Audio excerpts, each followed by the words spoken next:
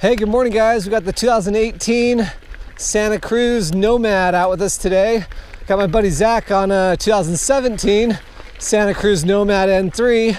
We're gonna do a little head-to-head comparison today and see if the changes they made to this new suspension and reach and everything else that they changed on this Nomad was worth it.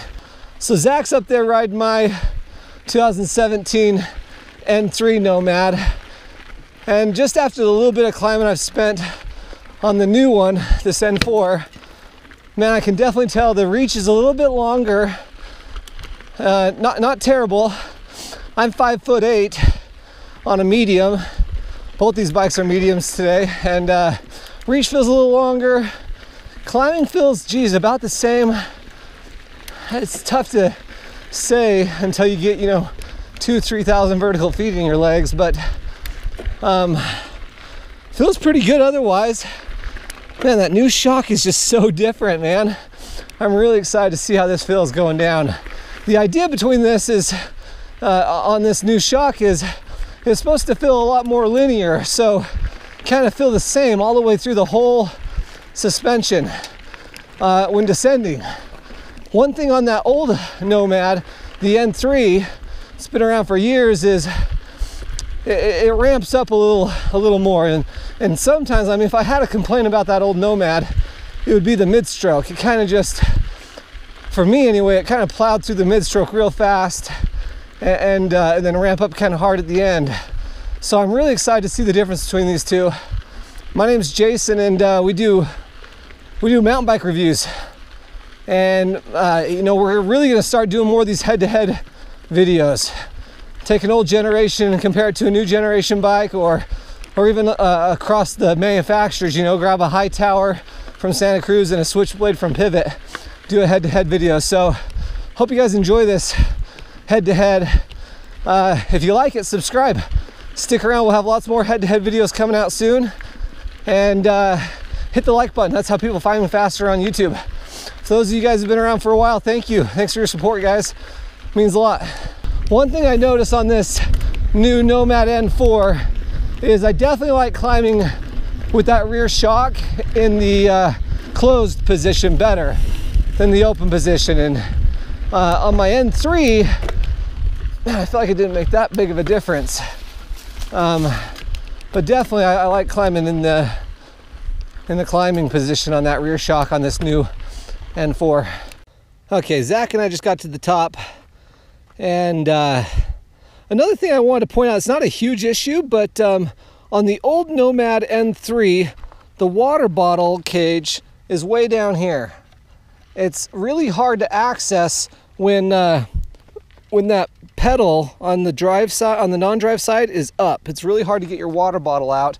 Not a huge deal, but you notice it. And then on this new Nomad, um, you can access your water bottle at any time uh, when you're climbing. You know, it's it's really easy to, to pull out of there. Not a big deal, but just because the, the way that rear shock is situated on this new model puts that water bottle holder a little higher. So for the guys that, that carry the water in the on the bike, uh, that's one thing I noticed I actually like a ton better already. Um, I always carried my water bottle on my bike. So notice the limitation in size of bottle on this one. Yeah, that's another thing. You can only carry 21 ounces on that bike. And on the new bike, you can carry a full size, yeah, 24, 25 ounce. That's a good point. Okay, Nomad N4 descending down Jacobs. Oh man, that feels really good.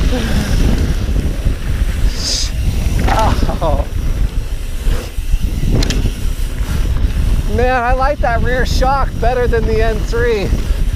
It feels a little poppier actually. Man, just so composed in all this stuff.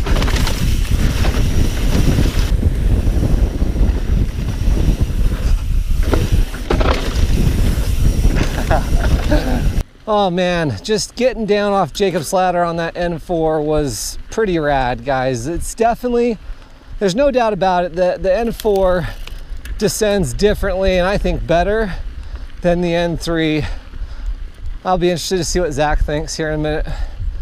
But uh, in climbing, I'd say they climb about the same.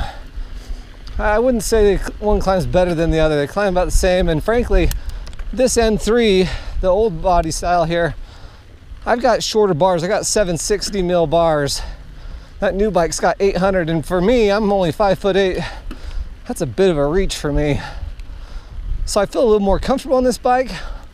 Plus, it's my bike. I'm just more comfortable on it. But there's no doubt that new N4 just made easy, easy work of Jacob's ladder, and it just still kept a lot of the characteristics that I feel like I lose on this Nomad.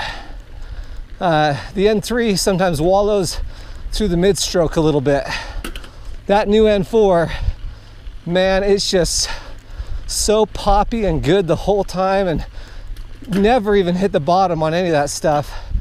It was awesome. I really liked that. Okay, Zach's on the N4 now. That thing was fun coming down Jacobs. Let's see how the N3 keeps up. Oh, that's good. Whoops. Nice, Zach. Well, for me, there's no doubt the N4 feels like the bigger bike. They're, they're both they're both so good. I would say that the N4 shock, that rear shock, is way more supportive. The N3, I just blow through that mid stroke so quick. There we go.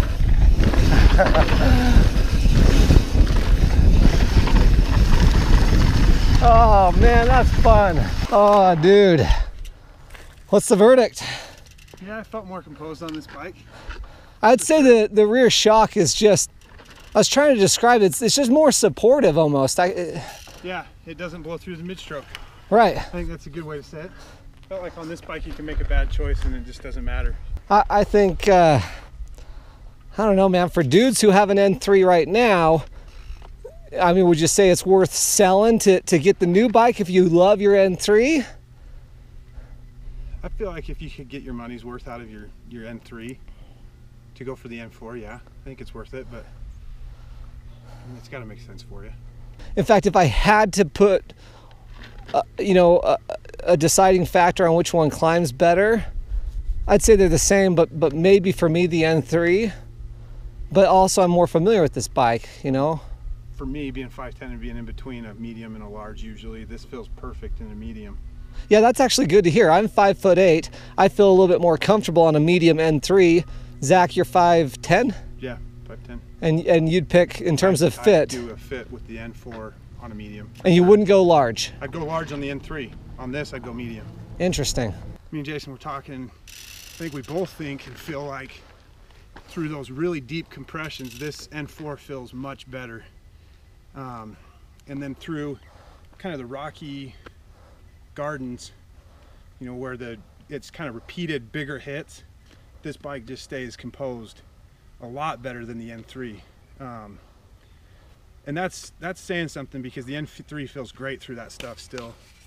So I think if that's what you're looking for, I think going with the N4 is worth selling your N3. Yeah, I, I, I couldn't have said it better myself. Yeah, just from our previous conversation, that's exactly that's exactly how I feel. That that it just is so supportive through every single different speed and different hit. Whereas uh, this, I never bottom out my N3. I don't feel like, but it just sometimes feels like it's there's nothing in between that small bump and then the actual ramp up toward the end. Right. I guess is the the best way to describe it. So. I think the N4, what I would say is it's just the suspension feels predictable. Yeah, yeah. yeah. You know what it's going to do, no matter what. Well, I hope you guys liked our little head-to-head comparison on the uh, N3 and the N4. Man, it's uh, it's a lot of bike, and that's another thing Zach and I were just talking about is. Uh, I had read so much on the internet about this new Santa Cruz Nomad being a huge bike, really big, bigger than the Firebird, the Pivot Firebird, and it's not. It really isn't. It's it's bigger than this N3 in that it's more composed going downhill, and it just feels like a little bit longer, bigger bike. But you know, it's not a it's not a downhill bike, you know. it, it, it's suited for that type of terrain, but it's not like a dual crown fork downhill bike. So anyway, hope you guys liked it. Thanks for watching.